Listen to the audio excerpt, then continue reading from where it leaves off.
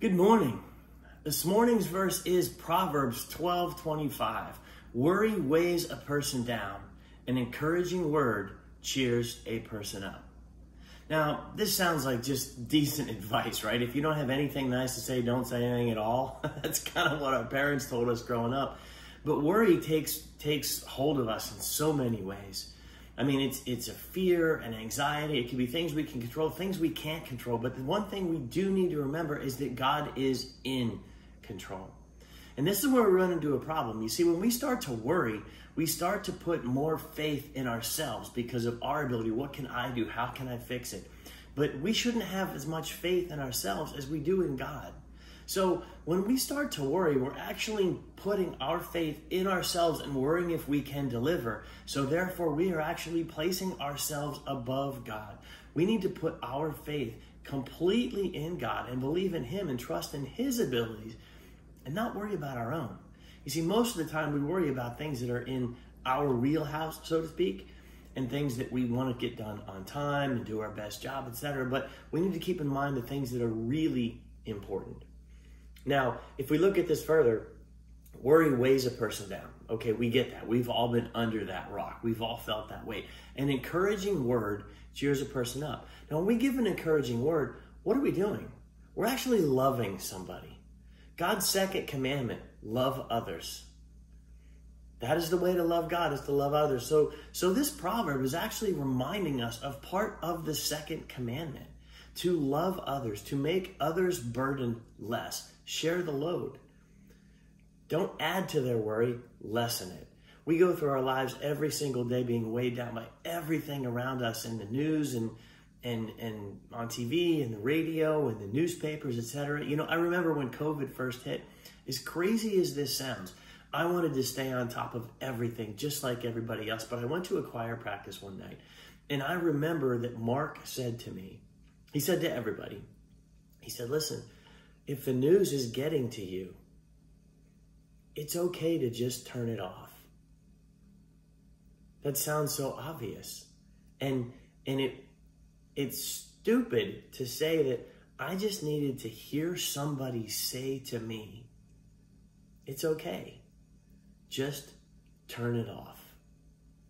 And I also find it interesting that about six months later, um, at choir one morning. I, I, I, I grew up in choir and singing and, and you know what it's like through high school and when you're kids, you've got people competing and you got the competitions for, you know, first and second chair in the, in the orchestra and the band to beat somebody off of their, their seat. And there's all that competitiveness. But I remember before the very first time I stood at the front of the, of the platform at church, I remember somebody saying to me, it was, it was Maria.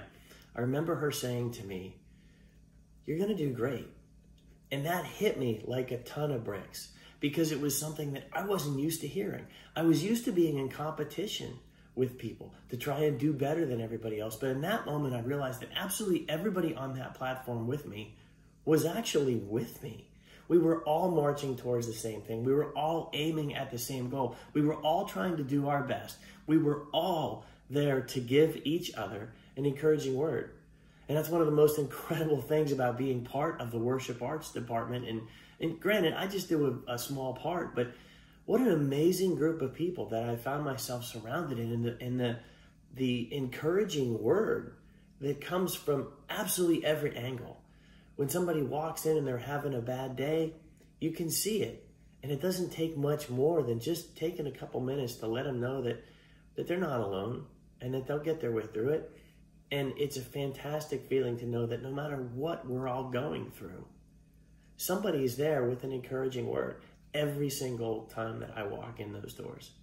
What an incredible view of God's second commandment and how we're supposed to love Him through loving each other. So again, Proverbs 12 25.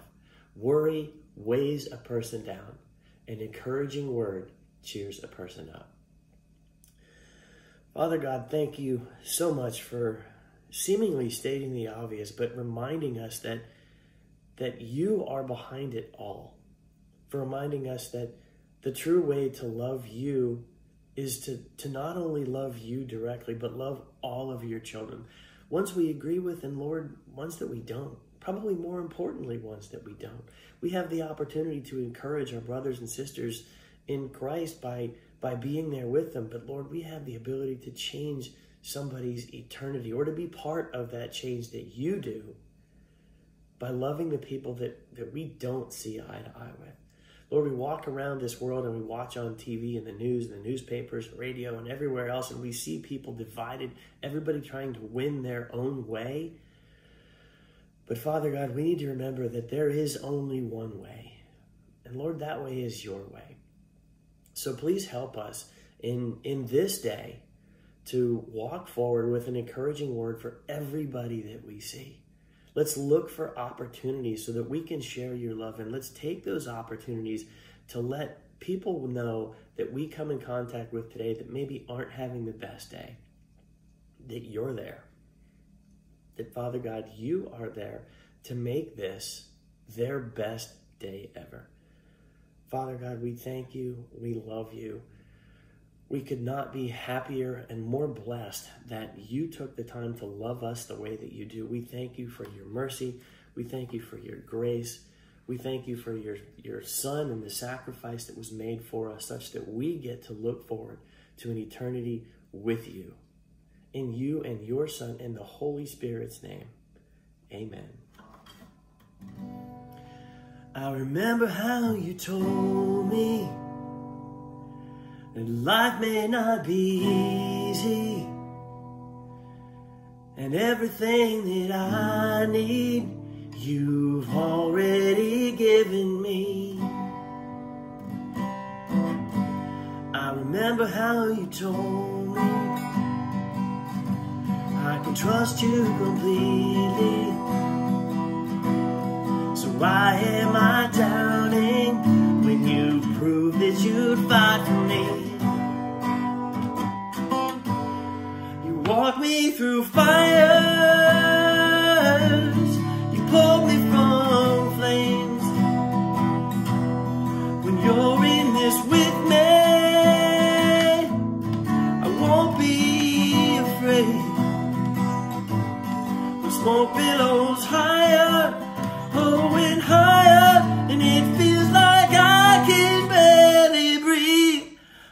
walk through these fires as you're walking with me.